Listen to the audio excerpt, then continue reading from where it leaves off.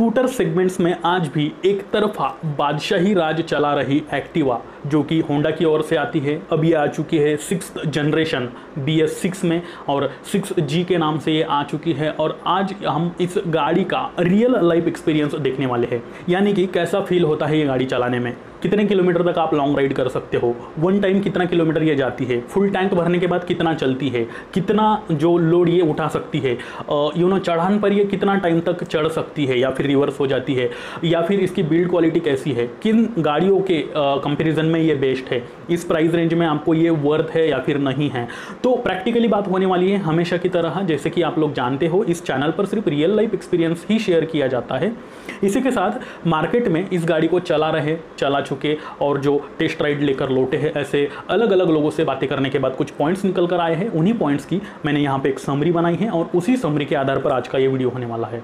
तो फिर देरी किस बात की, बने रहिए मेरे साथ। मैं हूँ चेतन पाटिल और आप देख रहे आस ऑटो गुरु सबसे पहले बात कर लेते हैं लुक की। मैं लुक के ऊपर ज़्यादा नहीं बोलता हूँ, ये एक सब्जेक्टिव मैटर होता है, इसीलिए।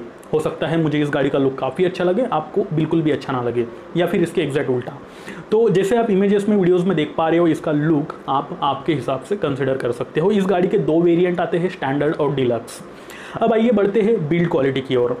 तो आफ्टर ऑल होंडा है, इसके ऊपर भी ज़्यादा बात ना ही करे तो बेहतर है। इस गाड़ी के इर्द गिर्द या फिर यू नो पूरी गाड़ी जो बनाई गई है स्टील और फैब्रिक मटेरियल से है, इसमें जो प्लास्टिक मटेरियल आपको मिल रहा है, काफ़ी हार्ड क्वालिटी का है। खास तौर पर जो आपका इंस्ट्रूमेंट कंसोल है हैंडल बार है, उसके नीचे या फिर जो फुट रेस्ट है आपका, वहाँ पे तो जो प्लास्टिक मटेरियल यूज़ करा हुआ है, काफ़ी ज़्यादा हार्ड है। जो सीट के अंदर बूट आपको मिल रहा है, जो स्टोरेज स्पेस जिसे कहते हैं उसकी भी प्लास्टिक प्लास्टिक क्वालिटी आप देखोगे तो काफ़ी बेहतरीन है। इसके अलावा इसके स्विचेस और जो मिरर के पीछे फिट एंड फिनिशिंग आपको दिखती है, वो भी बेहतरीन है।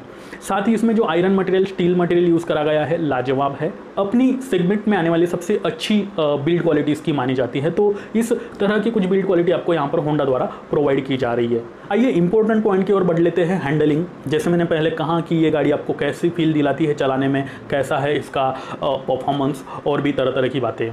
तो सबसे पहले अगर मैं इसके कर्व वेट की बात करूँ तो वो 107 किलो मिल जाता है। और इसी के साथ इस गाड़ी का जो गाड़ी जो रोड पर चलती है, चिपक कर चलती है, यूनो पकड़ कर चलती है तो वो कहीं ना कहीं कर्व वेट से उसका डायरेक्ट इनडायरेक्ट कांटेक्ट होता ही है। 107 किलो कम नहीं है। इसीलिए गाड़ी जो है हाईवे पर हिलती नहीं है।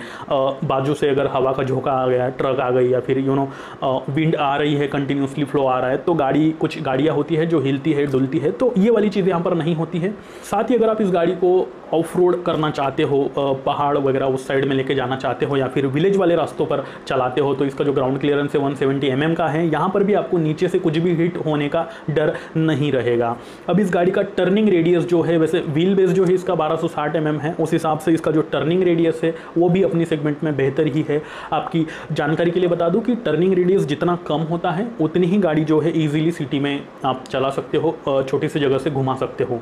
तो ये 1260 mm है, जो कि अगेन एक बेस्ट जो है, बेहतर चीज़ है। पिकअप भी इसका बेहतरीन है। पहले के मुकाबले यहाँ पर अच्छा इम्प्रूवमेंट दिखता है। पहले जो बी में आती थी गाड़ी तो उसमें पिकअप जो मिलता था सेंट परसेंट ज़्यादा अच्छा पिकअप यहाँ पर अब की बार यहाँ पर दिया जा रहा है। साथ ही अगर सिटी राइड की बात कर ली जाए तो जैसे मैंने कहा, इस गाड़ी का टर्निंग रेडियस बेहतरीन है। वहीं वैसे ये गाड़ी बनाई ही सिटी के लिए है। सिटी राइड के लिए ही इसे जो है अक्सर लोग परचेस करते हैं। तो उस लिहाज से अगर आप लंबी ट्रैफ़िक में फंस चुके हो और गाड़ी आपको बार बार रोकनी पड़ रही है, ब्रेक लगाना पड़ रहा है थ्रोटल घुमाना पड़ रहा है, चलानी पड़ रही है तो ज़्यादा इरीटेड नहीं होता है हेडेक नहीं होता है और जिस तरह से यहाँ पर सीटिंग पोस्चर दी गई है, अच्छी कंफर्टेबल एबिलिटी आपको मिलती है सिटी में। सिटी की बात हो गई, चलते हैं हाईवे पर। सत्तर तक ये गाड़ी आराम से चली जाती है। सेवेंटी प्लस भी कुछ लोग इसे लेकर गए हैं। पर्सनली मैं आपको सजेस्ट करूँगा कि आप सेवेंटी के ऊपर ना ही जाए तो बेहतर है। स्कूटर है। ब्रेक लगाने के बाद यू नो एक पैनिक ब्रेकिंग के बाद ये स्कीट होने लग जाती है। आम दिनों में ऐसी कोई बात नहीं होती है, लेकिन बारिश के दिनों में काफ़ी ज़्यादा स्कूटर जो है फॉल होने के चांसेस रहते हैं। तो मैक्सिमम स्पीड यही रखना। उसके बाद इस स्पीड में अगर कॉर्नरिंग करना चाहूँ तो वो भी यहाँ पर पॉसिबल नहीं है, क्योंकि ये स्कूटर है। कॉर्नरिंग की बात इसलिए मैंने छेड़ी क्योंकि ये यू नो आप थोड़ा सा जिगजैग चला सकते हो, इसे कोई बात नहीं है। थोड़ी बहुत कॉर्नरिंग आप कर सकते हो, कोई बात नहीं है। लेकिन एक्सट्रीम कॉर्नरिंग बिल्कुल भी मत करना, ये आपको सपोर्ट नहीं करेगी, आप गिर सकते हो। इसमें जो गियर है, यानी कि जो सी वी टी ट्रांसमिशन यहाँ पर मिल रहा है ऑटोमेटिक जो होता है ये इसकी पुलिंग पावर भी यहाँ पर बेहतरीन मिलती है, जो कि मैं आपको बताऊँगा आगे। अगर आप पहाड़ पर चढ़ रहे हो, लंबी चढ़ान है, अब दो बंदे आपके साथ है, यानी कि आप हो पिलियन हैं, साथ ही सामान वगैरह है, गाड़ी पर कुछ छोटी बड़ी कुछ चीज़ें होती है। तो ऐसे में भी आप गाड़ी को जो है बिना किसी दिक्कत के आराम से चढ़ा सकते हो। यहाँ पर पावर लैक बिल्कुल भी महसूस नहीं होती है। इस बार वाकई होंडा ने काफ़ी अच्छा काम किया है अपनी इस एक्टिवा सिक्स में। इस गाड़ी की हैंडलिंग को और भी बेहतर बनाते हैं इसके ट्यूबलेस टायर्स जो कि रेडियल टायर्स यहाँ पर मिल रहे हैं और इनकी जो साइज़ है वो फ्रंट में आपको 90 बाय 100 और रियर में 90 बाय 100 सेक्शन के फ्रंट में 12 इंचेस और रियर में 10 इंचेस के जो ट्यूबलेस टायर्स है, वो मिल रहे हैं। आइए बढ़ लेते हैं इंजन परफॉर्मेंस की ओर। तो यहाँ पर आपको 109.51 CC air cooled four stroke single cylinder B S six engine जो कि एफआई के साथ आपको मिल रहा है। इसमें आपको ई e टेक्नोलॉजी होंडा जो है लगा कर दे रहा है। अब यहाँ पर एक चीज़ है कि जब आप गाड़ी स्टार्ट करते हो तो इंजन से नॉइस नहीं आती है जो पहले आती थी, या फिर वाइब्रेट नहीं होता है जो पहले हुआ करता था। साथ ही यहाँ पर आप गाड़ी अगर 45-50 किलोमीटर पर हावर की स्पीड पर भी चलाते हो तो भी आपको एक इलेक्ट्रिक स्कूटर चला रहे हो, उस तरह का कुछ एहसास इतना ज़्यादा नहीं, लेकिन थोड़ा बहुत उतना तो एहसास होता ही है आपको। अब इस इंजन की जो मैक्सिमम पावर है, वो 7.79 पीएस की है, और जो मैक्सिमम टॉर्क है, वो 8.79 एनएम का है। इस लिहाज से अगर मैं बात करूँ तो ये काफ़ी अच्छी पावर फिगर प्रोवाइड कर रहा है। जैसे मैंने कहा, चढ़ान पर भी आराम से चली जाती है। तो तरह तरह के जो परफॉर्मेंस है, यहाँ पर बेहतरीन मिल रहे हैं इस गाड़ी में। इस गाड़ी में जो सीट मिल रहा है आपको, काफ़ी कंफर्टेबल है कोशनिंग बेहतरीन है। और यहाँ पर सेवन जो सिक्सटी फाइव सेवन 65 765 mm का जो हाइट है सीट हाइट वो मिलता है। यानी कि अगर आपकी हाइट 5.1 5.2 फीट भी है उसके ऊपर है तो अच्छी बात है, उस तक भी है 5.2 फीट तक भी है तो भी आप इस गाड़ी को आराम से हैंडल कर सकते हो। यूनिसेक्स गाड़ी है लेडीज़ और जेंट्स दोनों इसे चला सकते हैं। तो उस तरह की सीटिंग पोजीशन यहाँ पर दी जा रही है।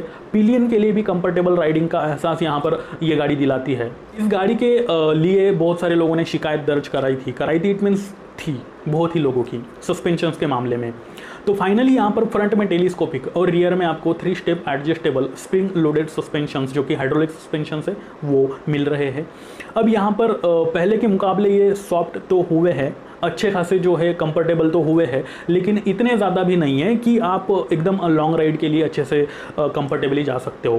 पहले तो बहुत स्टिफ आते थे हार्ड आते थे फ्रंट में अभी अच्छा परफॉर्मेंस इसका जो है आ, मिलने वाला है आपको। लेकिन अक्सर दिक्कतें तब आती है, क्योंकि मैंने जितने भी लोगों से बातें करी, जो इस सिक्स जी को यूज़ कर रहे हैं, उनमें से कई सारे लोगों ने ये कहा कि जब आप ख़राब रास्तों पर चलाते हो गाड़ी फ्रंट सस्पेंशंस के मामले में तो वहाँ पर आज भी थोड़ी सी दिक्कतें आती है। हाथ जो है आपके वाइब्रेट होने लग जाते हैं और उसके बाद यहाँ पर थोड़ा सा दर्द होने लग जाता है। ये कुछ ही लोगों का मानना है। मार्केट रिव्यू है तो मार्केट रिव्यू की ही बात हो रही है। कुछ लोगों का ये भी मानना है कि ये काफ़ी अच्छे सस्पेंशन सबके बार यहाँ पर प्रोवाइड हो रहे हैं। जो पहले मिलते थे, उसके अकॉर्डिंग उसके बिहाफ में अच्छे सस्पेंशन सेटअप यहाँ पर लगाकर दिए हुए हैं। खैर, अगर आपके पास भी ये गाड़ी है तो आप इस पॉइंट पर हमें ज़रूर बता सकते हो, क्योंकि कई सारे व्यूवर्स ये वीडियो देख रहे हैं, उनको भी हेल्प हो जाएगी। साथ ही जैसे मैंने कहा, ये गाड़ी 70 प्लस भी आराम से चली जाती है। कुछ लोगों ने इसके ऊपर भी इसका स्पीड जो है लेकर गए हैं। तो यहाँ पर ब्रेकिंग भी ज़रूरी हो जाती है। सी बी एस यहाँ पर मिल रहा है। कॉम्बी ब्रेक सिस्टम होंडा का अपना पेटेंट है और वही यहाँ पर मिल रहा है। यहाँ पर डिस्क का ऑप्शन आपको नहीं मिलता है। अब अगर आपकी गाड़ी 50 या फिर 55 किलोमीटर पर आवर के ऊपर आप चला रहे हो, हाईवे पर चला रहे हो इतने स्पीड में, सामने से कोई ऑब्जेक्टिव आ जाता है, पैनिक ब्रेकिंग की सिचुएशन क्रिएट हो जाती है, तब भी ये गाड़ी आपको अच्छे से कवर कर लेती है। लेकिन एक बात याद रखना, बारिश के दिनों में आप ज़्यादा स्पीड ना ही करें तो बेहतर है। रेडियल टायर है। एमआरएफ के टायर मिलते हैं आपको। ये स्किट होते हैं, हार्ड कंपोनेंट के बने हुए होते हैं। तो ये अक्सर प्रॉब्लम यहाँ पर आता है। अदरवाइज़ बाकी सीज़न में ये बेहतरीन ही है। इस गाड़ी का जो हेड लैम्प है, यहाँ पर जैसे मैंने कहा, दो वेरिएंट मिलते हैं। डिलक्स में एलईडी और स्टैंडर्ड में आपको हेलोजन हेड लैम्प मिलता है। हेलोजन हेडलैम्प के मुकाबले एलईडी का परफॉर्मेंस काफ़ी अच्छा यहाँ पर पाया गया है। डार्क नाइट में भी अच्छा जो विजुअल एबिलिटी है वो आपको मिल जाती है। हेलोजन हेडलैम्प बारिश के दिनों में थोड़ा सा फेंट हो जाता है, रास्ते अगर गीले हैं तो तो वहाँ पे दिक्कतें आती हैं अदरवाइज़ वो भी अच्छा ही है। अब आइए मुद्दे की बात कर लेते हैं, जो कि है माइलेज कंपनी क्लेम तो करती है कि ये 55 60 जो भी क्लेम करती होगी उतना मिलता है, लेकिन रियल लाइफ माइलेज अगर मैं बताऊँ तो 45 से लेकर 50 तक का यहाँ पर मिलता है। अब की बार ये बी एस सिक्स में आ गई है एफ़ आई में आ गई है तो डेफिनेटली माइलेज यहाँ पर इम्प्रूव हुआ है। फिर भी ये 45 50 के बीच में ही आपको कहीं ना कहीं मिलता है। अलग अलग लोगों से बातें करने के बाद ये पॉइंट निकल कर आया है। ये भी डिपेंड करता है कि आप किस तरह से गाड़ी चलाते हो, किस तरह से उसे यूज़ करते हो।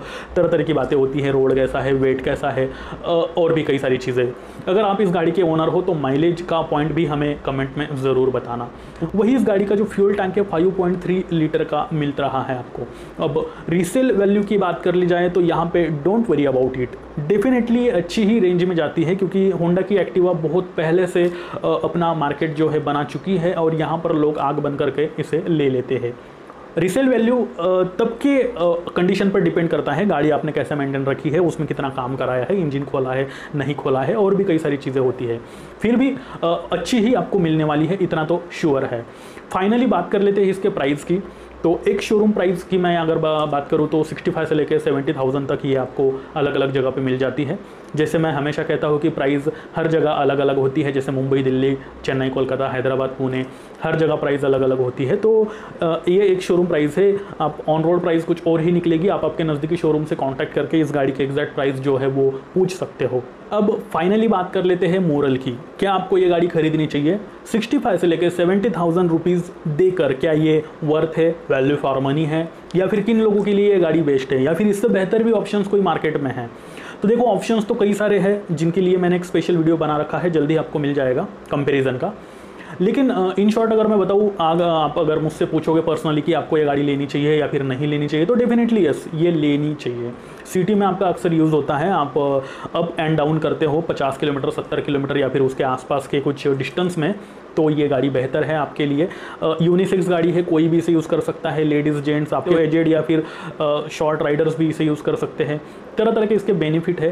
होंडा ने अपनी मार्केट में अच्छी जो है जगह बना ली है इस एक्टिवा सिक्स जी ने। कॉलेज गोइंग स्टूडेंट्स है आमतौर पर जो लड़कियाँ होती है जो लेडीज़ होती है गर्ल्स वो बहुत ज़्यादा इसे यूज़ करते हैं तो हाँ ये गाड़ी आपको कंसिडर करनी चाहिए। इसके बाद एक और वीडियो मेरा आने वाला है, जो कि एक सौ दस सी सी सौ सी सी एक सौ दस सी सी स्कूटर सेगमेंट्स में कौन सी आपके लिए बेहतर रहेगी और क्यों रहेगी, उसको भी ज़रूर देखना। अगर अभी तक आपने हमें सब्सक्राइब नहीं किया है तो यार वेट किस बात का कर रहे हो? सब्सक्राइब करके जो बगल वाला बटन है घंटी का, उसे भी आप दबा लो, ताकि हमारी नोटिफिकेशन आपको मिलती रहे। इसी के साथ अगर आप चाहते हो कि आपके कार और बाइक से रिलेटेड सभी सवालों के जवाब इनफैक्ट सभी प्रॉब्लम्स के सॉल्यूशन एक ही जगह पर अवेलेबल हो जाए तो हाँ ये चैनल सिर्फ़ आपके लिए है, इसे सब्सक्राइब करना ना भूलें। अभी तक आपने अगर मुझे इंस्टा और ट्विटर पर फॉलो नहीं कर रखा है तो उसकी भी लिंक मैंने डिस्क्रिप्शन में दे रखी है, वहाँ पर भी आपके सवालों के जवाब दिए जाते हैं। अभी के लिए फ़िलहाल इतना ही, मैं चेतन पाटिल, लेता हूँ आपसे विदा, और फिर से मिलता हूँ ऐसे ही किसी नए इंटरेस्टिंग वीडियो के साथ, तब तक के लिए, नमस्कार।